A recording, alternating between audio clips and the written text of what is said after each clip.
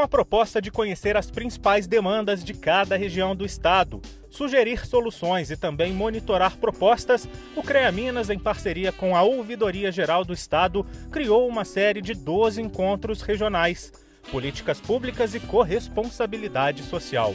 Uma das importantes contribuições do Conselho para a sociedade mineira.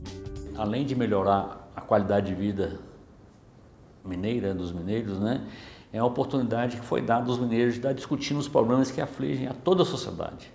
Porque à medida que a população vai crescendo, né, os problemas vão crescendo também. E esta importante contribuição se consolida nos números. Foram 60 reuniões preparatórias que envolveram em torno de 6.500 participantes em 77 palestras.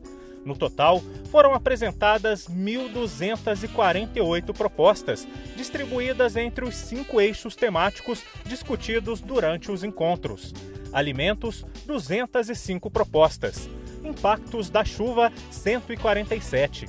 Meio ambiente, 289. Rodovias, 301 e urbanicidade, 306 propostas. E esses principais, eles praticamente focam todos.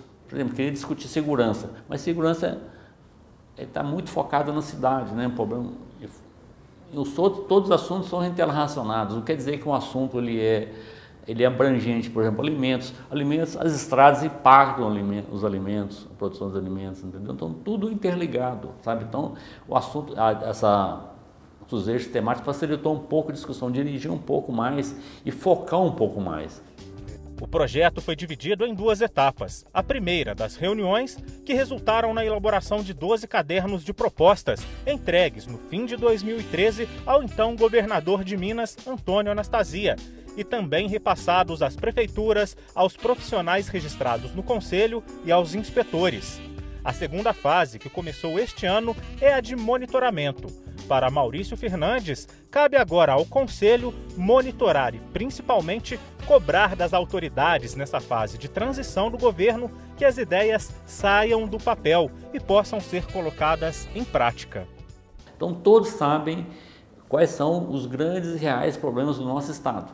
Então, com essas propostas, vão poder fazer planos de governo, estudar, saber o que, que tem que ser feito para melhorar a qualidade de vida do nosso Estado? Sabe quais são os problemas, os problemas que estão impactando o nosso Estado?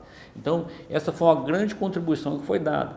E agora, nós precisamos agora de começar a acompanhar a execução dessas propostas, como que vai fazer, sabe? E começar, é, e o grande é, vantagem também, nós precisamos de começar a mobilizar a sociedade de uma maneira de que todos comecem a cobrar também, não só o CREA, mas toda a sociedade começar a cobrar do governo a execução dessas propostas, entendeu?